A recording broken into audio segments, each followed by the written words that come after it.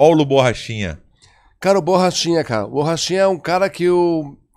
O Vanderlei me convidou, chegou, vem aqui, vem amanhã, estar meu melhor atleta amanhã. No, no TUF. Ah, no TUF, aham. É, que ele lutou com, com, com o Márcio Liotta. Márcio Lioto, aham. E, cara, o Borrachinha, cara, eu me dou bem com ele pra caramba, cara. O, mudou, eu converso com vários contatos, ele. Cara, a gente se fala no Instagram, é, pouco assim, mas sempre quando a gente se encontra, a gente conversa bastante. Eu acho que o pessoal fala muito que ele é muito polêmico, né? Que fala algumas coisas, mas eu acho que cada um é cada um, cara. Eu acho que o que a gente não pode fazer é, é fugir da nossa personalidade. Uhum. Porque eu acho que depois do, do, do Sony McGregor, muitas pessoas começaram a querer mudar a personalidade, É aí, querer boa, falar. perfeito. Cara, o cara que mais vendeu até hoje na UFC foi o Jorge CPR, cara. E o cara é um cara de boa. É verdade, tu vê. né? O CPR é um cara que mais vendeu da história. É um cara de boa, não tem polêmica. Então, acho que. E muitas pessoas começaram a querer forçar a barra pra ser polêmico, Perfeito, contigo. pra ser igual o Sony e o McGregor, que se, que, que se estragaram. Só que eu acho que o Borrachinho, eu acho que ele é assim mesmo. Acho que o jeito dele é assim mesmo. de- Não é, de- cara. Tu acha que ele é. Não, não, mas, mas acho que não é, não é forçado, eu acho. Eu acho que o Borrachinho é natural, assim, sabe? Então, assim, de, de, de gostar de polêmica, falar do Ah, adversário, tá, dele gostar apimentar, é. disso. Sim. Então, é, agora tem muitas pessoas que se perderam de mudar a personalidade para ser Sim, polêmico, achando que isso. vão vender mais, Isso ganhar aí, mais. Só que eu falei, eu falei não Mas é o borrachinho assim eu coloco como dos nossos. Eu falei, não é assim, até porque McGregor, esse cara, todo mundo fala que o cara é um baita de gente boa, sangue É, bom, todo então. mundo fala É, então, isso acontece, e tu olha, pô, Pô, olha os o, negócios que ele o fala. Coleman, acha- cara, o pessoal, pô, o Coleman, cara, o Coleman, a gente teve aquela desavença lá no Pride, mas, cara, Aconteceu o um cara é tumor. amigão meu, Machucou me o braço do, do Shogun.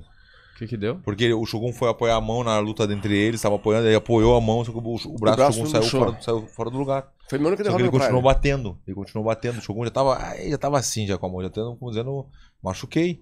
E ele continuou batendo. Aí entrou. Ah, eu tava lá, entrou Vanderlei, eu. Ninja. Eu entrei também, né? Deu maior A confusão. gente nem fazia parte do, do, do, do- da shootbox, a gente queria puxar o saco do, da shootbox, a gente gostava dos caras, né? Ah, o Vanderlei, Messi, Rafael, todo mundo ali, eu, ah, vamos ajudar também. Aí dá pra ver no vídeo a gente entrando assim, a negabete, bem que separando. Esse vídeo eu assim. quero ver. Inclusive, é, falando do Borrachinha, cara, quando eu fui ver a luta dele no, no TUF, que o Vanderlei falou assim, poxa, vem amanhã que vai ser vai, vai estar o melhor atleta. Daí eu fui ver o Borrachinha lutar com, com o Lioto, com o Márcio Lioto. Eu achei que a equipe er- errou numa coisa, cara. Eu Aham. achei que o Borrachinha cresceu muito nessa luta, cara. Ele ficou uma hora batendo repetes, cara. Pingando, suando, Antes da luta. antes da luta. E ele, ele sempre foi um cara mu- muito atlético, né?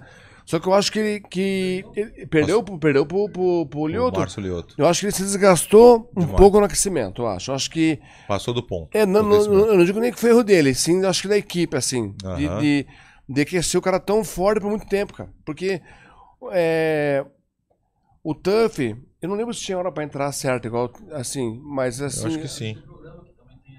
Né, então, eu não, eu achei- mas eu, ach- eu achei que ele, ele caraca, o cara tá Tu pingando. gosta já, de aquecer bastante ou não, o eu, suficiente? gosto, eu gosto de ser Pouco. o suficiente, assim, um pouco, é. O que que é pouco?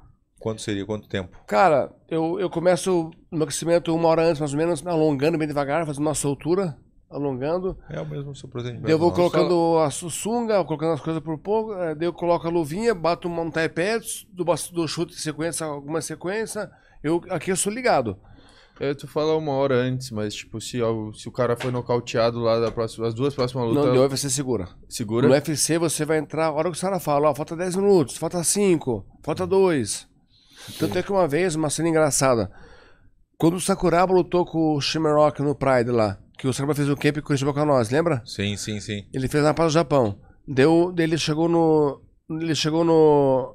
No Japão, ele disse pro Rodimar, pô, mestre, fica no meu corner, mestre. Pô, beleza. Do mestrão foi no vestiário com ele pra entrar no, no ringue. Daí assim, e, e ninguém é maior que o Sakuraba ali, da equipe dele ali. Na box a gente respeitava o mestre o mestrão, mas Claro. no Japão ele não, não tem essa hierarquia lá com o Sakuraba. Ele era o, ele era o maior da equipe dele. Daí o mestre me contando, poxa, quando eu, eu cheguei, sentei no vestiário, e chega na hora da luta, o cara parado, o cara assim, ó, quieto assim, Hã? numa quest, e o, o senador olhando, o cara não faz nada. Ah, falta 10 minutos, falta meia hora. O cara quieto, 20 minutos. E o Gudimar, pô, o cara não vai aquecer. 15 minutos. Se- Ele levantou, colocou a sunga, a coquilha. Vamos. Foi. Eu não acredito, que loucura, né? Cara. Olha só, imagina, japonês, é diferente. né? Vocês Outra- têm muito contato, assim, né, junto com o teu adversário antes de entrar? Tem algum contato visual? Não, é, Zero. na luta não. Na luta? Entra, nem, nem se vê. É, Só vê lá dentro quando chega no, no octógono. É. A gente, Cara, eu vi- a gente muito no dia antes, na pesagem, Eu coletiva. vi uma série do Netflix agora, Point Break, que é de tênis. Ah, Cara, muito irado. E passou um episódio do Nadal, cara. Antes de eles entrarem no, no campo, assim, tem um corredor onde fica, fica ali, sei lá, uns 5, 10 minutos, os dois e as duas equipes juntos, no mesmo corredor. Até o pessoal chamar pra eles entrarem. Cara, assiste, velho. Olha a presença do Nadal quando o cara chega. Cara, ninguém consegue, tipo, ele começa a correr, aquecer, a fazer No os corredor. negócios no corredor, velho. Os caras, tipo, se perdem. Eles perdem ali a partida. é mesmo? Não, assiste o episódio. Como é que é o episódio? O nome é Point Break. Point break. É. Mas sabe uma coisa que qu- point, quanto né? mais Break- eu vejo, break point, quanto né? mais eu vejo meu adversário, Acho que é. Break, break point. break Point. Co- co- como é que é a pronúncia? Vai, não? Ah, vamos botar aquela do, do point. do, do, do inglês. Bota, bota, bota. Ei. Bota, bota. Mas sabia que Shogun aquela. quanto mais eu vejo meu adversário, mais eu fico calmo, cara. Não, não, bota. Mais eu vejo que ele é racional, sabia? Quanto mais tu vê. Quanto mais eu vejo meu adversário, na pesagem coletiva, vídeo, mais eu fico tranquilo porque eu vejo que o cara é racional, o cara é normal. Uhum. Assim, sabe? Não é uma, uma loucura assim, ai meu Deus, não, calma. Então eu fico muito mais calmo quando eu começo a ver mais meu adversário. Na pesagem, Legal. coletiva. sabe? Sim. Vamos lá, pro. Então, então o pra ti? Dos nossos. Tá bom. Não, não posso concordar contigo.